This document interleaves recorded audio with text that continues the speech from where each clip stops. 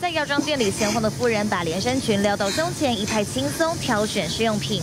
夫人拿着保养品在身上不断涂抹，从手臂、肚子再擦到大小腿，简直把公共场所当成自己家。但另一位同样在药妆店试用商品的夫人，却跟店员大吵一架。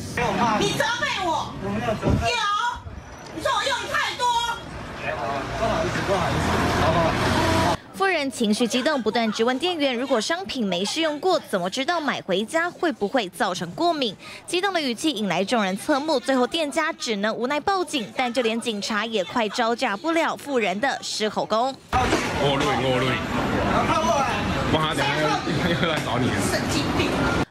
让消费者挑选适合自己的商品，药妆店的开价是美妆保养品都会提供试用服务。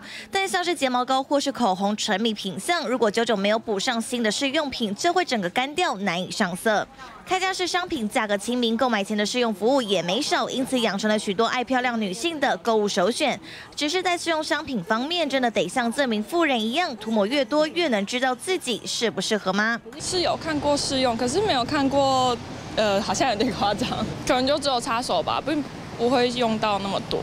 应该都是买回家吧？怎么可能会在现场就这样子用呢？为了吸引消费者上门，药妆店除了得定期补上试用品，也得以客为尊，尽量满足客人需求。毕竟谁愿意把财神往门外推？